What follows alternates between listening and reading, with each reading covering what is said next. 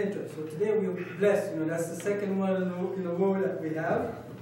Um, Mr. Matt Jayne, Matthew Jayne, I call him Matt, according to that. Candidate for Bachelor of Science in uh, Computer Engineering. Uh, Matthew is another of our unique students with a cumulative average of 2.94 and his major concentration. He's currently interning at Prism Energy in uh, Massachusetts, and uh, one week after he started, the CEO called me personally to tell me, express his her gratitude for having Matt be a part of the company. So Matthew's currently weighing his many option, uh, options and job opportunities in the months ahead. Uh, so it's a great pleasure for me to welcome Mr. Matthew Jayne to the Dr. John U. Free seminar series. The title of his presentation is um, USB charging system for multi-speed multi. Thank you, Dr. Morley. And unlike Mike, I did not come up with an interesting topic. um, I promise it's not as boring as it sounds. So, like Dr. Morley said, my name is Matt Jayne. I'm a senior here at Eastern, Eastern Nazarene College studying computer engineering. Um, my project name is uh, USB charging system for multi-speed bicycles. Um, over the past couple of years, I've really gotten into uh, mountain biking specifically as a hobby. And uh, one thing as a both a student and a, someone who likes to bicycle is uh, the, the, need for um, portable electronics, uh, no matter where you are, whether it's out on a trail, miles away from a power supply, um, whether it's right down the road. Um, a lot of people enjoy road biking. Um, but just that, that need I, I saw existed. Um, so I don't know uh, if any of you have gotten around to taking a look at the abstracts that are online, but this information is just uh, pulled straight from the abstract I wrote. Um, so, just start off with the question, who here has a cell phone? okay. Uh, and I know a lot of cell phones, uh, I'm sure some of you can relate, run off of uh, standard USB chargers. Uh, a lot of those uh, can plug into a laptop, your laptop can charge your cell phones. Uh, some just use a, an adapter for a wall outlet. Um, and so I saw that kind of as a, as a platform that can be used in conjunction with a bicycle. So there's that need for us to stay connected, whether it's for business reasons, social reasons, there's, uh, there's always a constant need uh, in our society today to stay connected with our peers, with our friends, with our uh, colleagues. And uh, there are many forms of alternative energy uh, already available. There's, as Mike mentioned, there's uh, energy from wind and solar and water. Um, but why not the bicycle drivetrain? it's a source that when you're bicycling, you're constantly turning the pedals at a particular speed. And so that's a, supply that can be utilized. Um, so like Mike, uh, our projects actually were pretty similar, at least in the beginning stages. Um, we both decided to go with uh, DC motor, uh, which you talked about a little bit. And uh, those are, as you said, they're efficient. Uh, it's a good, uh, clean energy source, and it can be used in this application as well as, as what Mike did. so the next kind of step of that is regulating that voltage and outputting it to a USB charger. Um, and that was kind of the electronic side of my, of my project. Uh, and then finally, the application of this project, uh, it allows for charging of uh, a tablet, a cell phone, whatever electronics you have, uh, even if you're miles from a trailhead, uh, miles from home, out on a, on a road ride, uh, whatever it is, not to mention the exercise. so just kind of beginning to think about my problem a little bit. Um, the primary problem I had was know, how do you harness energy from uh, this readily available and renewable supply? And uh, I already mentioned the DC motor is a, is a good way to do that.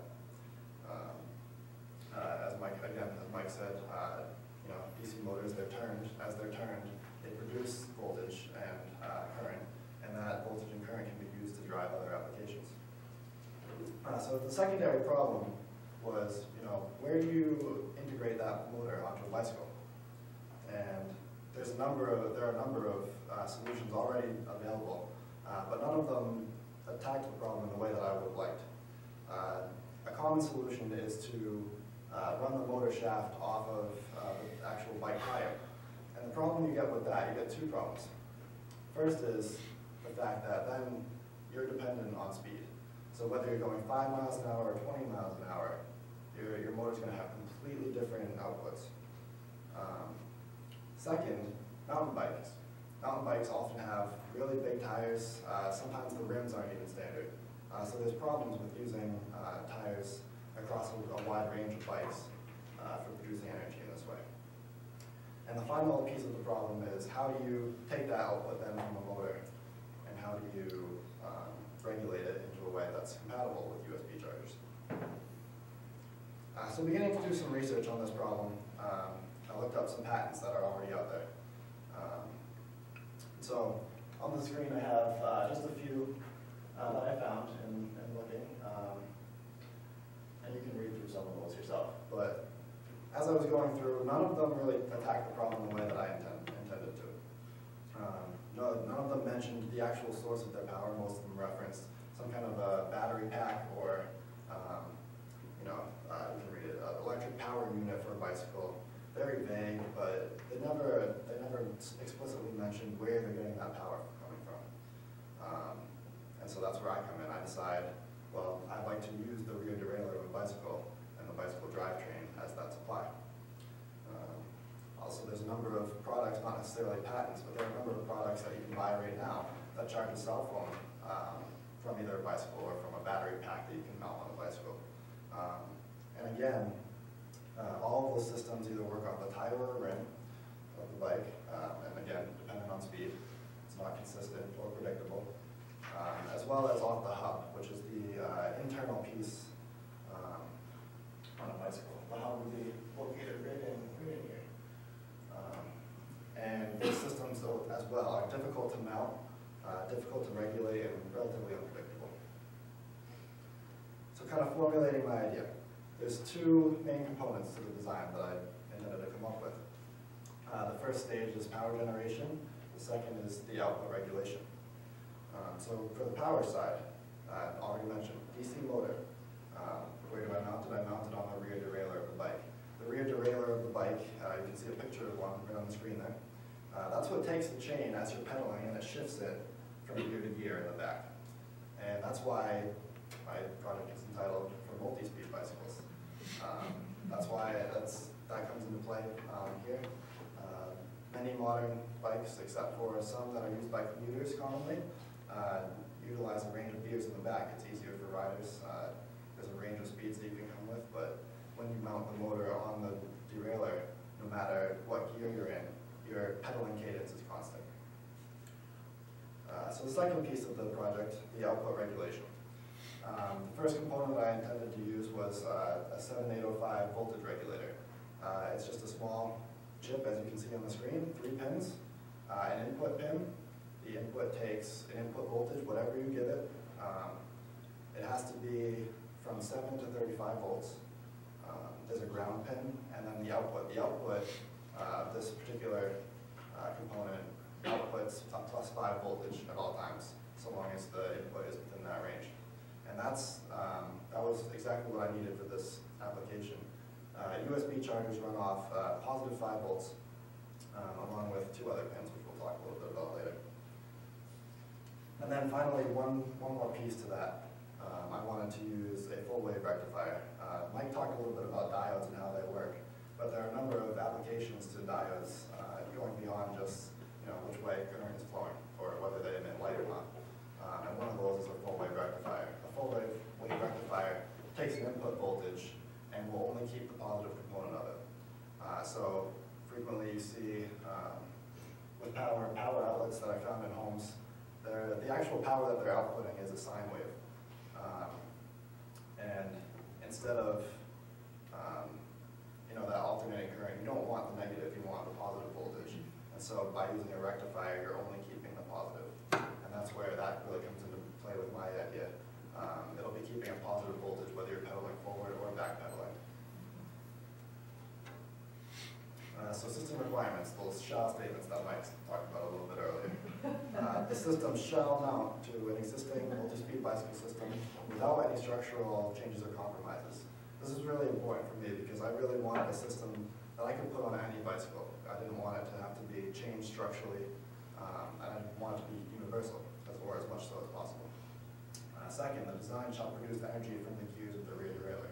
As those pulleys on the rear derailleur spin, I wanted the motor shaft to spin, and uh, therefore create power. Uh, Next, the design shall regulate the energy produced to standard USB charging levels. So that's where that voltage regulator I talked about comes into play. Um, The voltage that I get output from the motor uh, would be input to the uh, regulator, and then that plus five volts output would be uh, directly supplied to a USB port. Uh, Finally, the design shall provide a USB port compatible with any USB charger. And that was also important. I know today there are a wide range of uh, portable electronics that, you know, they all use USB chargers, but you have you know, iPhones, iPads, tab- tablets, smartphones, and there's, there's, the list goes on. There's a number of electronic devices that use this charging method. And so if you can create something that's universal, then that's ideal. And the design shall make you coffee in the morning. Which, that didn't happen. And then off to the right there, uh, some other shall statements that a lot of us city can see. So this diagram right here, this is my initial system architecture. Um, Mike showed his block diagram a little bit, and this is kind of the the parallel um, in less fun form. Um, So the different pieces of it, first, the installation. I talked about the importance of uh, universalizability um, of the system, you know, being able to mount uh, the system to any bicycle. Uh, Second, the power generation piece, talked about the DC motor and uh, how that's going to be used as that method of generating power. Uh, The power storage block, that was one that really got modified as I got into the project. Um, The original idea was to have some sort of intermediate uh, power storage between the motor's output and uh, the USB port for charging. And so uh, batteries are the common method of doing this, but by doing so, then a whole lot more regulation that has to go into play. So you're not, you know, burning out your batteries and having other problems at play there. So that really became outside the scope of my project as I went along. Um, But something that, you know, in the future might be something that can be re-added. Uh, And then finally, the display output piece. For a finished product, this would be a lot more important. You want some sort of uh, display telling you, you know, this, is the status of your system, um, the current power level, things like that. Again, that, that's uh, a little bit out of the range, the scope of this project, but going forward, uh, for a marketable product, that would be something that I want to add. So system design. Um, This circuit right here on the right, that's actually the final circuit that I used uh, for the prototype. Um, You can see on the left there, close up, that's what an actual full-wave rectifier looks like. Um, Looks a little bit messy right there, but um, all it's doing is it's taking the voltage, and if it's positive, it keeps it positive, if it's negative, uh, it makes it positive, essentially, in layman's terms. Uh, On the, in the circuit diagram on the right, you see the 7805 regulator and how it's positioned in the circuit. Um, And the other aspect to the circuit that I added later are uh, D1 and D2 there. Those are two, uh, what are called Zener diodes. And a little bit of background on Zener diodes. As Mike said, diodes uh, allow current to flow in one direction. Um, But Zener diodes will allow current to pass uh, in the backwards, the uh, reverse bias region, um, as long as the voltage across them reaches a certain point. Um, So the way these uh, diodes are set up, once the voltage reaches, uh, I used a 10, a 10 volt diode and a 20 volt diode. So once the voltage reaches 30 volts, uh, it will allow current to pass, and so the voltage input to the regulator is clamped at 30 volts. Uh, I mentioned earlier that the maximum input to the regulator is 35 volts. And so that becomes important for not allowing uh, too much voltage to go into that regulator. So just kind of a- an outline for uh, the prototype that I assembled. Uh, I began with initial testing of the individual components. Um, I tested the motor itself and also the regulator. I tested those both together. Uh, And I I analyzed those uh, two sets of data using uh, MATLAB. Uh, And then I, as for the assembly itself, I assembled the system in blocks, uh, the two pieces, the bicycle interface, that consisted of the motor and the derailleur system, as well as the portable device interface, that's the voltage regulation and the USB charging circuit. Uh, And then final, the last stage is uh, final testing of the complete system. So these are the results of uh, the initial testing that I did on the DC motor and the voltage regulator. Uh, I use uh, the My, MyDAQ uh, data acquisition device uh, along with LabVIEW software. Um, if you don't know what that is, don't worry about it. But uh, we use that uh, here at ENC a little bit to, to monitor signals and, uh, and then MATLAB to display them. Uh, so the first graph right here, up in the upper left-hand corner, this was the output I got from the motor when. I actually used, for this initial testing, I used a cordless drill to spin the motor and to get a voltage up. Uh, what you see there is actually a scaled down version of what I was getting out of the motor. I used a voltage divider, which just consists of two resistors, uh, to scale down the voltage from what it actually was. Um, so, this, so that first graph shows one-fourth of what the volt, uh, motor output was.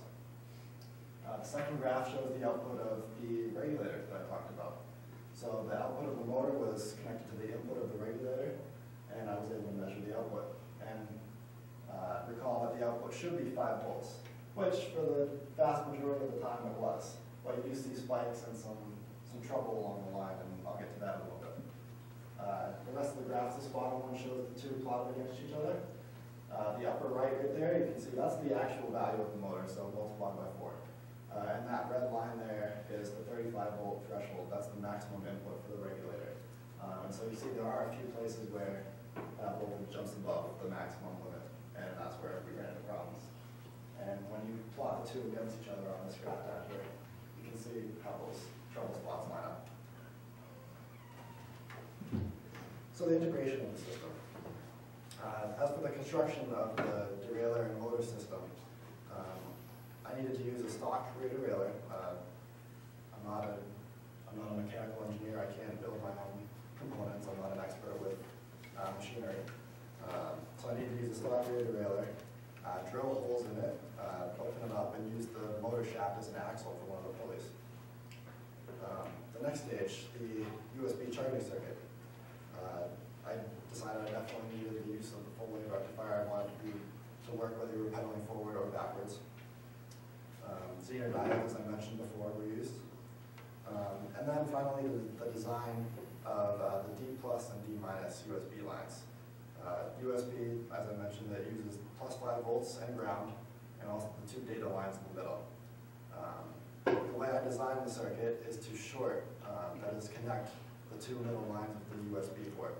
And by doing so, that tells the device that's plugged into it that it can uh, draw more current and it can charge uh, from that source.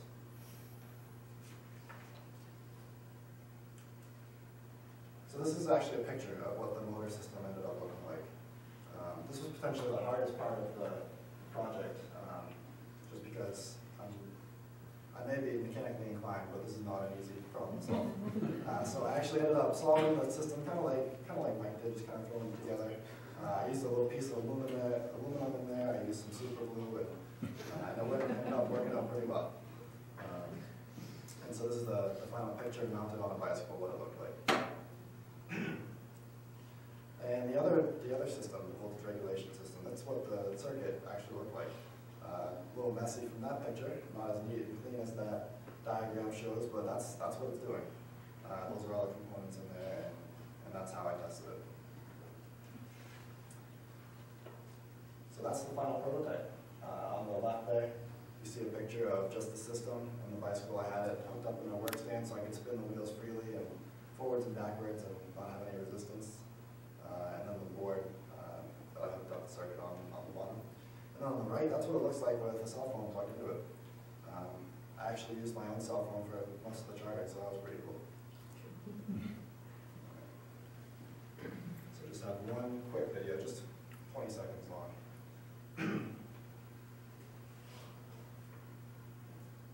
And it's gonna be slow.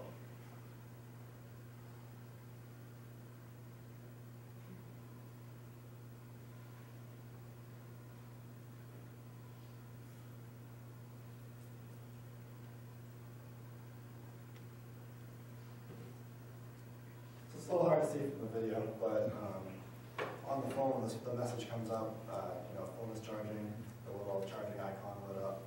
Um, and uh, you saw the bicycle wheel spinning as I pedaled it. And it worked forwards, backwards, whichever direction it, it went. So that was kind of cool.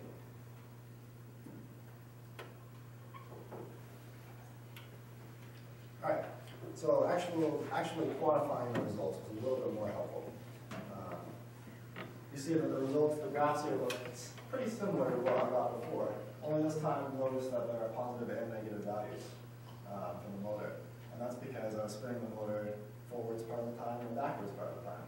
Um, But notice that the regulator output shown here and also the green down here, it's always that positive five. And that's, that's what the rectifier does. Um, Also, you can see on the regulator, some downward spikes. And those spikes correspond exactly with where I stopped pedaling to switch directions. Um, and so this, that showed that, um, the system works so long as you're pedaling and so long as you don't stop. So just kind of analysis of that, I already mentioned a little bit. Uh, but as for the motor system, the pulley seems to spin freely, it drives the motor as I intended. Uh, the output voltage was actually lower than I expected, which ended up being a good thing, because less regulation was needed. Uh, but the output voltage was approximately nine to twenty volts. Uh, as for the regulation system, uh, it rectified and, and regulated the motor output exactly how I intended. Uh, the regulator, as you saw from those graphs, stayed consistently at around plus five volts, and that's exactly what's needed for USB charging. Uh, the USB port provided power to the cell phone that I plugged into it, and uh, the corresponding icons lit up and it, it uh, recognized my circuit as a valid charger. Uh, so just some conclusions to draw from that. Um, the system, it, what I did was show that this design is a viable method uh, for obtaining power from bicycle. Um, the power generated, it's consistent, it's generally predictable. Um, because a rider usually rides at about 60 to 120 RPMs, um, that's your pedaling cadence. Uh, the, the output is relatively consistent. Uh, finally, the design creates an interface that's recognized by mobile phones, uh, at least the ones that I tested. Um, and that's, that's important because if, you know, if my phone can recognize them, then I'm guessing most of yours can too. And then finally, uh, just a quick, quick word on future work. Um, Going forward, uh, I'd like to explore the possibility of patenting this idea. Um, I know this problem has been solved in a number of other ways, um, but none, like I mentioned, in the, through the method that I proposed. Um, I'd like to at some point rebuild the system, just keeping in mind some of the revisions that I made and, and problems that I ran into. Um, there are certainly improvements I could have made along the way, um, and perhaps would have been a little bit less patched together. Um, and then ways to improve upon the system itself. Uh, as Mike talked about, he, he could have uh, perhaps implemented a, a better motor, uh, more suited to the application, and I think the same applies to me. Um, whether it's the e-ring, whether it's um, the voltage that it's spec that it's uh, spec to output, um, as well as improving uh, the derailleur and motor system itself. Um, as you saw from the pictures, the motor uh, protrudes a little bit from the derailleur. It's a little bit cumbersome. Um, and so practically may not be a good option at this point, um, but certainly could be improved upon. And then finally, um, in testing, I noticed that uh, the speed at which the, the phones were charging was not high enough to be uh, marketable at this point. Um, a lot of that has to do with the amount of current that my design was able to supply. Um, and that also can come from uh, the type of motor that I was using, uh, as well as even the regulator may not be able to supply sufficient current. Um, and those are things that can uh, be improved upon going forward. But the important thing is that the design has proved that it's a viable method for uh, providing power to a USB port. And that's about it. Any questions for me?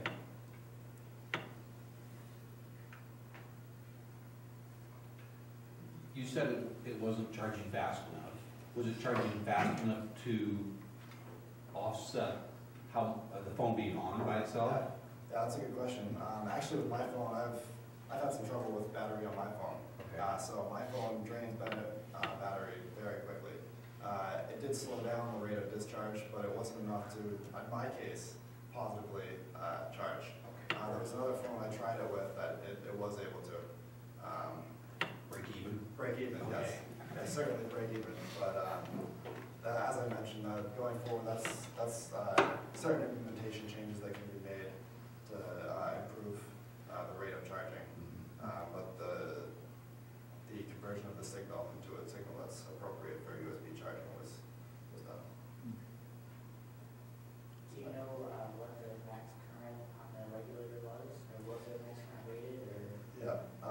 the max current rating on the regulator was one amp, um, which that's, that should be sufficient certainly for USB charging. Um, the USB circuit that I was working with uh, also uh, involved a resistor and diode placed uh, at the end across the voltage pins of the USB port. Um, and certainly designing that differently could have a small effect on that as well. Um, but as you found with your motor, um, I think the motor has a lot to do with it as well in terms of how much current it's able to supply. So at the beginning, when you started this design, you went up and you used uh, a drill? That what it is? Yes, that's right. So how close did you come from, because that's like completely blind, from that to the final design? Sure. Yeah, that's a good question. Um, I mentioned in the initial testing, I used a cordless drill to spin the, the motor shaft, and in the end, I'm, I'm using an actual person pedaling bike. And, um, the results were actually pretty close. The drill, um, actually was able to spin it much faster than, um, I realistically was gonna get from a bike, which was good because it, it made me think about, you know, ways to regulate the voltage that in case of a, you know, as a failsafe, um, you don't wanna plug your three hundred dollar smartphone into this system and have it blow up. Um, But, uh, certainly, uh, it spun it way faster than I needed. The maximum voltage I think I got from, 25 to 30 volts. And you know, with the drill, I was able to get up 40 to 50 volts. Um, so, you, yeah, yeah, sure. So, uh, to answer your question, yes, it, the results were lined up perfectly in terms of the system's response. Just with a practical purpose on a bike, you're never going to get it as high as a drill can. Right.